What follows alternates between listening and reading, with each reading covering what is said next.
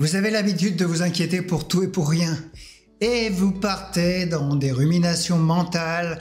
Vous savez, ces pensées qui tournent en boucle sans rien résoudre, qui gâchent votre journée, votre sommeil et peuvent aussi gâcher vos vacances. Si c'est le cas, cette vidéo est faite pour vous.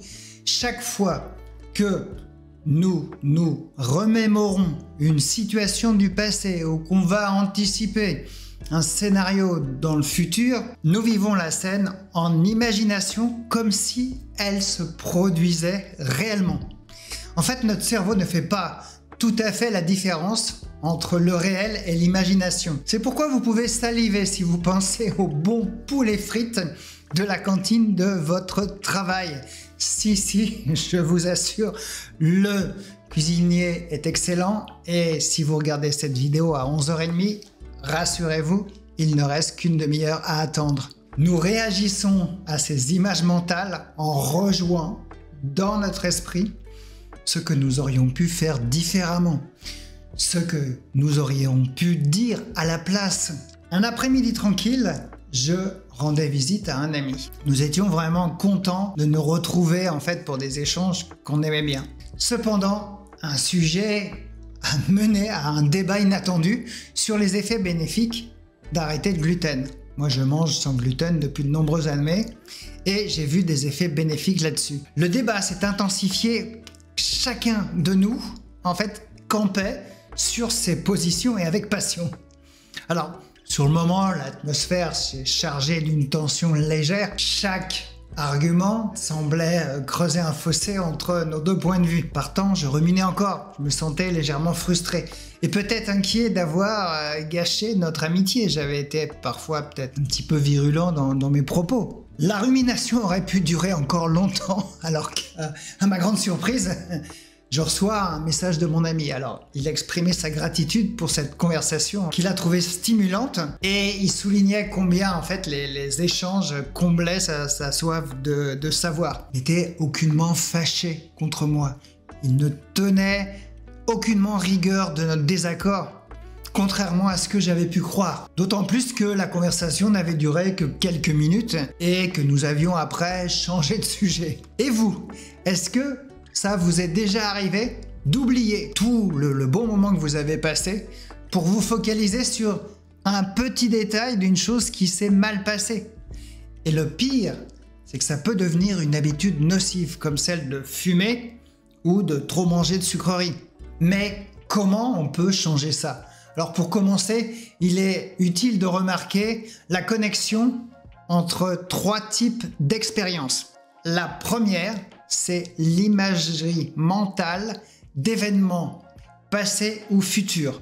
La deuxième, ce sont vos pensées anxieuses concernant ces événements. Et la troisième, ce sont les sensations corporelles que l'on peut avoir en cas d'anxiété ou d'agitation. Dans l'exemple de la visite avec mon ami, j'aurais pu, par exemple, remarquer que j'étais en train de rejouer l'expression du visage contrarié de mon ami, je le revoyais dans ma tête. Puis, vous pouvez observer vos pensées anxieuses et les autocritiques, les critiques que vous faites à, vous-même concernant la situation. Enfin, vous pouvez quitter votre mental pour voir ce qui se passe réellement dans votre corps. Souvent, nous restons concentrés sur les images et les pensées, mais on oublie les émotions de notre corps.